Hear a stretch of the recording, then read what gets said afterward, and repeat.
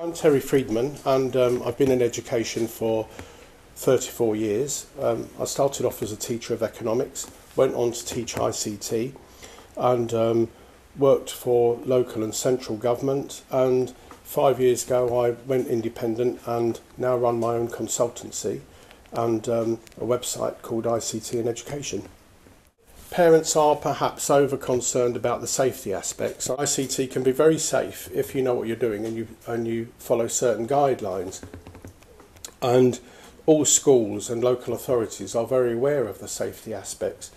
So I, I, I would say that, um, and also at home, parents I think need to and, and could could know more about what their children are doing. So well, one, one of the things that um, that many parents do, which is not particularly good, is that they allow their child to have a computer in their own bedroom and then just leave them alone for hours and hours on end.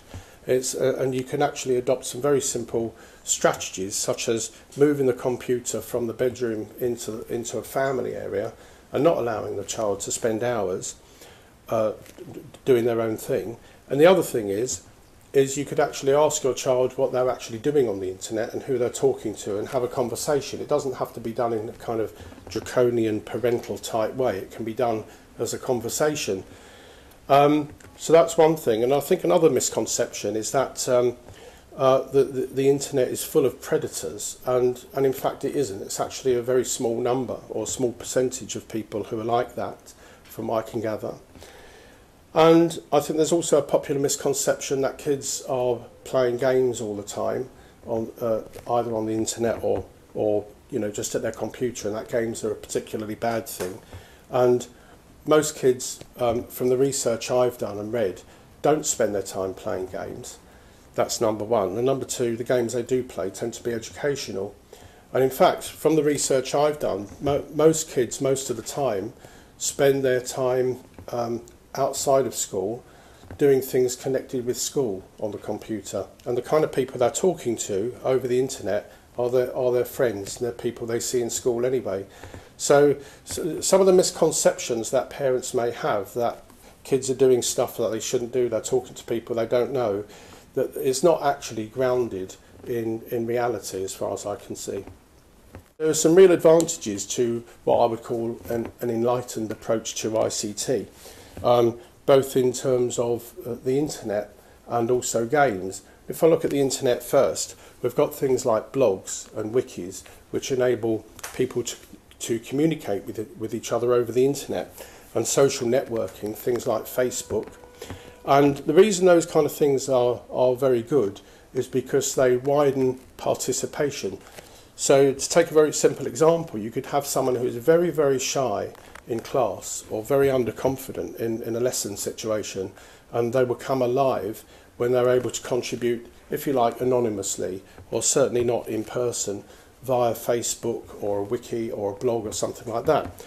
Um, blogs, because they're things which um, you can see from outside the school, uh, are, are, are able to facilitate parents seeing their children's work. So even if it's not possible because of the school setup, for parents to actually log in and actually see their, their children's work. They could actually log in onto the internet and, and see it.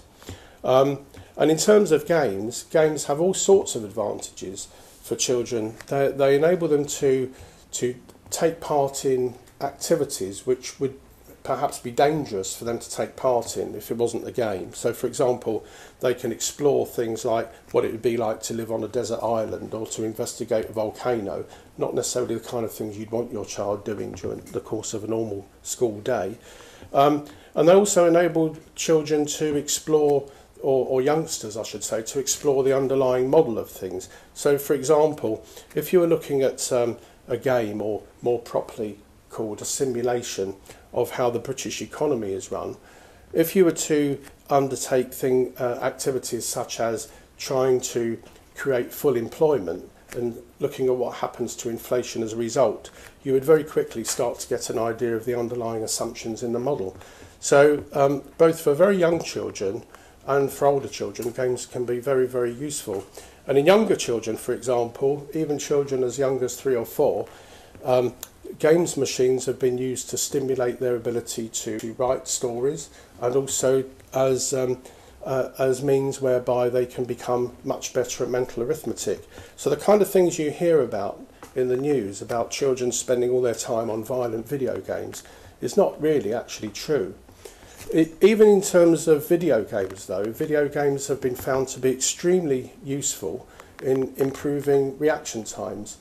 So even there, it's not all bad news. And finally, I mean, there are lots of benefits of um, the internet and what you might call e-learning.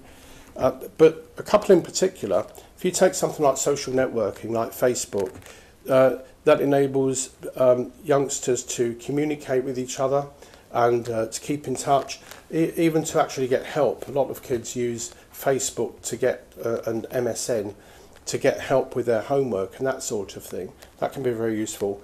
And e-learning also opens up the possibilities for children who are school phobic or who, for other reasons, can't actually attend school to actually play a full part. And in fact, um, on an anecdotal level, I heard of a, uh, a case yesterday where um, someone whose son is away from school because he's actually got the flu um, was able to take a full, uh, pretty much a full part in the lesson because a friend of his had a laptop with a webcam and was recording the lesson live and um, was actually feeding the teacher questions that he, the ill person, had. Um, and they're all that was kind of unofficial use, but there are also official uses of that sort of thing.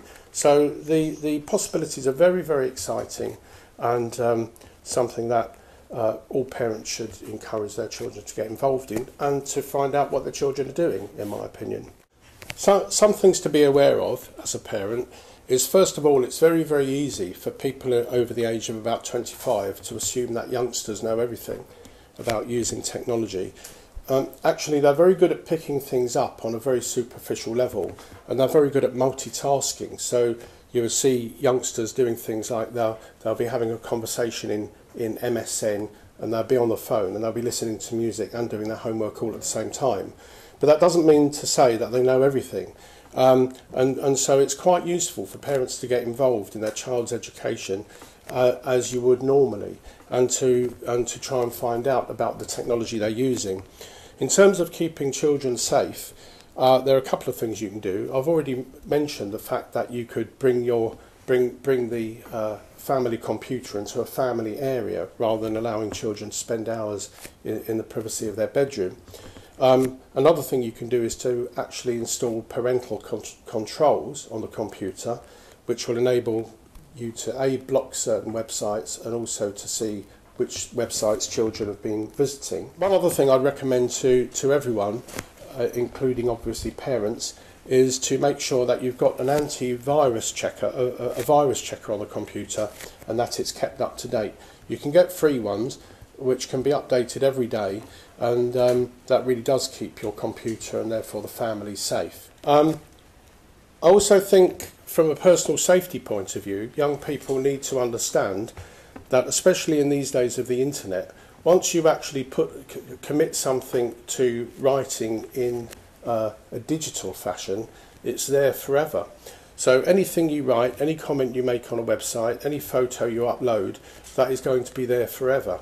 And even if you were to, if you like, undownload it a few seconds after you've uploaded it, it would still be there because the internet is archived. Uh, so young people need to be taught how to keep themselves safe, not just from the point of view of um, the kind of things you read about sexual predators, but also in terms of future job prospects and stuff like that. You, they may not necessarily, future employers may not necessarily appreciate photos of people being uh, kind of acting stupid. I think another important thing is is to be aware of the fact that um, there's a mismatch between what youngsters intellectually know and how they behave. So youngsters will actually be able to tell you what is safe to do and what is unsafe to do online. But they don't necessarily always go by their own advice. And the research seems to be indicating that's because of um, uh, a, a lack of physiological development in, in the brain until you're about 23. In other words, your behaviour until you're about 23, 24 tends to be um, very risk taking, uh, and you can't you can't actually help doing that. Um, and therefore, my recommendation there would be to not just accept that just because your child says that they know what's safe and what's not safe, that you should necessarily just um, leave it at that. You should still actually engage in conversations with them to find out what they've been up to and to put them right if necessary from the benefit of your experience. Uh, another issue is this, is that not everything, uh, technology is not suitable for every person, for every activity all the time. And it's actually quite good not to spend hours and hours at a computer.